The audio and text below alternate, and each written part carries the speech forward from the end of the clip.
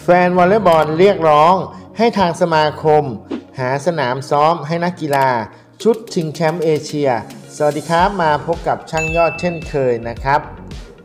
เดี๋ยวเราไปติดตามข่าวนักกีฬาวอลเลย์บอลชุดชิงแชมป์เอเชีย 2021 กันนะครับ ในวันที่ 14 กรกฎาคม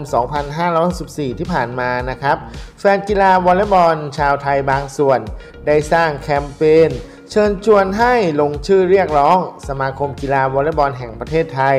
เร่งจัดหาสถานที่ฝึกซ้อม ให้นักกีฬาหญิงสำหรับเตรียมทีมไปแข่งขัน ในศึกชิงแชมป์เอเชีย 2021ที่ประเทศฟิลิปปินส์ซึ่งจะมีการแข่งขันกันระหว่างวันที่ 29 สิงหาคม ถึง 5 กันยายนนะครับ โดยผู้สร้างแคมเปญรายนี้นะครับ ได้ระบุว่า เหลือระยะเวลาในการฝึกซ้อม และเตรียมตัวในการแข่งขันเพียงแค่ 6 สัปดาห์ ซึ่งการแข่งขันในครั้งนี้ ถือเป็นรายการสำคัญ เนื่องจากจะมีผลต่อโคต้าของทีมชนะเลิศ และรองชนะเลิศ ที่จะได้ไปแข่งขันในรายการชิงแชมป์โลก 2022 ซึ่งการเตรียมทีมน้อย ส่งผลในการแข่งขันมากแค่ไหนทำให้นักกีฬาไม่มีความพร้อมที่จะลงสนาม ซึ่งมันส่งผลต่อผลงานของนักกีฬาและทางสมาคม อย่างไรก็ตามนะครับ เวลานี้ทางสมาคมกีฬาวอลเลย์บอลแห่งประเทศไทยนะครับ